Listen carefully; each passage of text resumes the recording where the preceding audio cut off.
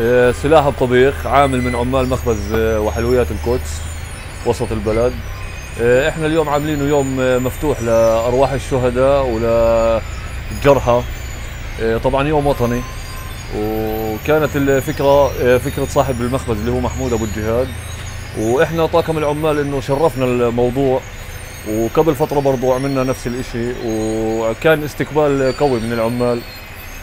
والحمد لله رب العالمين يعني وموجود عندنا خبز شوفان قمح طبيعي آه، موجود خبز طابون آه، طبعا هذا الحكي كلياته اجلالا واكراما لأرواح الشهداء و... وندعي الناس إنهم يدعوا للجرحى بالشفاء العاجل إن شاء الله.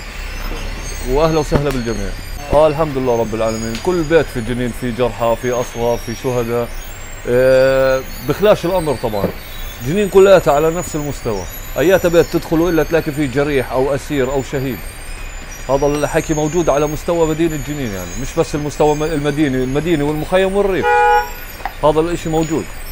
الحمد لله رب العالمين يعني إنه ربنا أكرمنا إنه في بناتنا شهداء وفي بناتنا اسرى وفي بناتنا جرحى. الحمد لله رب العالمين إنه أكرم جنين بهذا اللقب. أم الشهداء. الحمد لله. وإحنا بنقدم اللي بنقدر عليه وهم قدموا أرواحهم. بس آه، إحنا اللي بنقدر نقدمه يعني إنه نخلي الناس ما تنساهمش نخلي ذكراهم موجود إن شاء الله.